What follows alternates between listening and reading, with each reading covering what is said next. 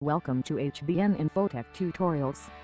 Today you will learn how to record macros in Excel using Macro Recorder. Before that I guess you guys have a lot of questions with macros, such as, what is a macro? What is the need for macro and when to use it? How to create macros and what are the easy ways? Well in easy words a macro is a set of instructions you can use to automate a task. Macros are often necessary when you have tedious tasks that requires you to perform an action over and over repeatedly. You may save a lot of time with macros. There are two ways to create a macro. Method 1. Using Macro Recorder. Method 2. Writing VBA code manually. Now let's see how to record a macro using Macro Recorder. Now let's assume that you need to create or apply border like this.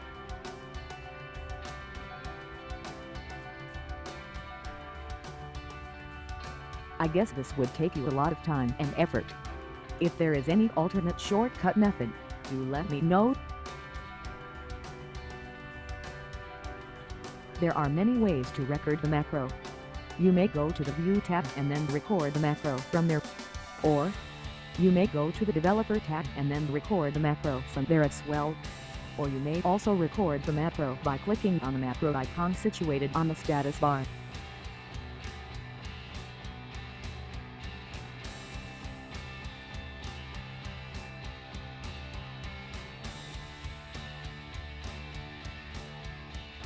If you can't see the Developer tab you can enable it by clicking on the Office button and then clicking on the Excel options, then on Popular tab, check Show Developer tab in the ribbon, and then click OK.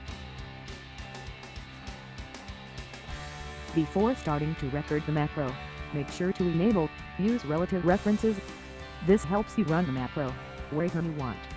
Note, if Use Relative References option is not enabled, the macro will run only at the place where you recorded. To start recording, click on Record Macro. Type a name for the macro. Assign the keyboard shortcut.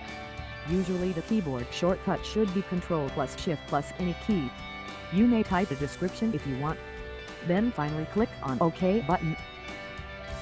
Note, the macro name should start with an alphabet only, and not the number. It should not have a space. It should not have special character and finally you should not use Visual Basic specific keywords or reserved words, such as sheet, cell, workbook, chart, etc. Before starting to record the macro, identify the sequences of the task, identify the cyclic pattern of the task, and then start recording. In my opinion, any repeated task will have a cyclic pattern. Make sure you are well planned and record your actions in an order perfectly. Never jump or miss any step that you have planned. It also matters where you start recording the macro. Once you have performed all your actions, click on Stop Recording.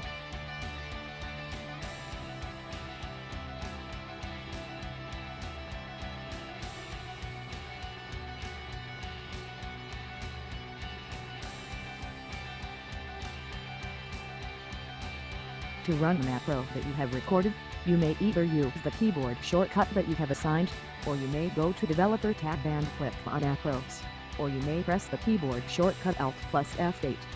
Then select the macro from the list, and click on Run. If you like this tutorial, please subscribe